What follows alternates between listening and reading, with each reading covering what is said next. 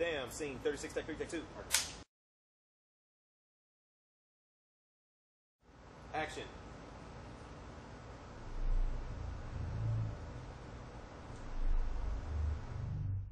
Damned is a supernatural thriller. Uh, it definitely draws from, you know, supernatural lore in a sense, uh, but I think that there's this very strong thread of faith and um, and reconciling that with all this turmoil that the characters are going through. and I'm thinking, okay, what can I do that's different? The concept itself came up about two years ago, and I wanted to do something that was different. I wanted to step outside the circle from any typical project that's usually getting done by primarily African American uh, directors. Next thing I knew, I'm, I'm writing and I'm halfway through a screenplay about angels and demons, Lucifer, and all these other cool names. It was about two years in the making of just writing, waiting for the right moment, and uh, finding a dynamic cast to uh, help it come true. I have to say one of the best projects that I've worked on. I like the footage I've seen so far because I really believe in the project. So I'm doing everything I can to push it to make sure that we get that fan base that we need because I really want to see it succeed. Only has been professional. It's also been a lot of fun. Met a lot of people that I really enjoy working with. So, um, I would say it's been the best experience I've had. I wouldn't trade it for the world. I got to act in it, and I got to be the demon with the horns, and that was a lot of fun. That was kind of the first time I've ever done anything like that.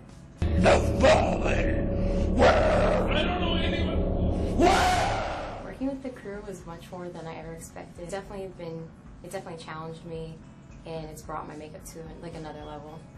The story's captivating. Hi, my name is Joe Feldman, and I play the character of Posh on the web series.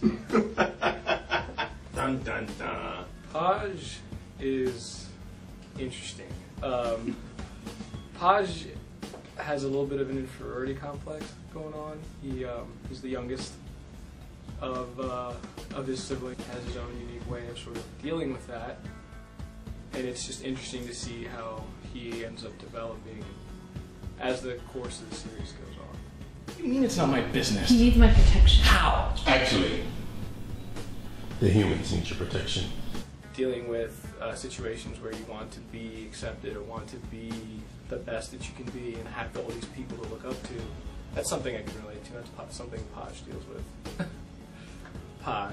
Well, I'm not really sure. His name is Paj, but considering everyone is destroying, Here's the booze. Yeah. I'm going to change it to Paj. P A J. Uh, it is a game recently to continue to find new ways to say the name off and on set. Right now, I'm having some fun on set, doing a little fight choreography, which is a little different from some of the things I have done. It's always fun to be on set. Something is happening, and it's a good time, always. There's some singing, there's some dancing. Mostly Kevin. Uh, Samantha carries a lot of weight. Uh, she's a very intense person. She's uh, dealing with a lot of personal issues related to uh, her family and her faith, and she's always trying to make things better, improve things, uh, be worthy of uh, returning to heaven. Please, give me something. that intensity and that worry and that guilt is very present at times, and it's interesting to play a character who's constantly struggling with that. I mean, there's there's humor in the series, but but Samantha's uh, kind of always carrying some sort of burden.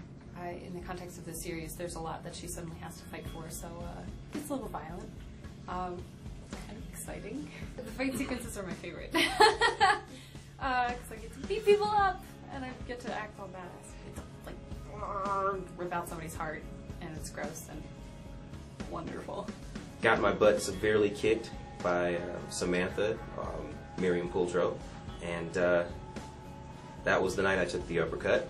Had a lot of makeup done. Uh, Karen Sidbury, Jessica Ramos, fabulous. I mean, they really help these actors and the characters these actors are portraying come to life. And uh, spent a lot of hours in the chair getting the makeup application done. But uh, yes, that was one of the characters I played.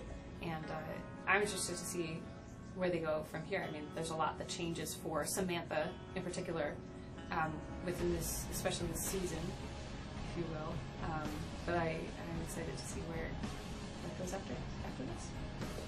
Yeah, I'm, I'm gonna miss a lot of things. It's just getting me amped up to work on the next project.